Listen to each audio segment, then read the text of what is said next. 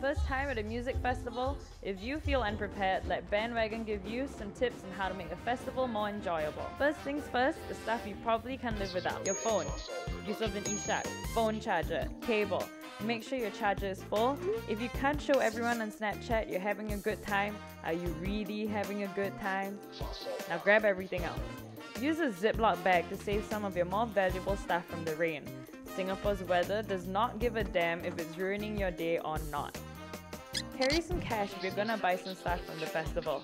They're most probably not gonna accept cards, so don't waste anyone's time. I mean, you could try creating a scene like I did, but they're most probably gonna kick you out. Don't waste the money you spend on tickets like that.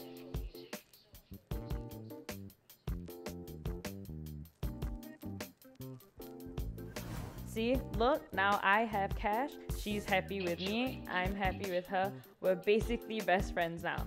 Best part, with cash, you can always make it right. I'm on a new level. I'm on a new level. I'm on a new level. Now the bands are on. Don't be that guy blocking everyone with his phone. No one is gonna watch your shaky camera work on YouTube after the show.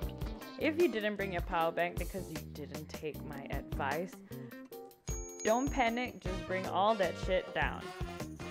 Now for the ultimate tip of all, remember to have fun, though I'm not sure how you could forget that.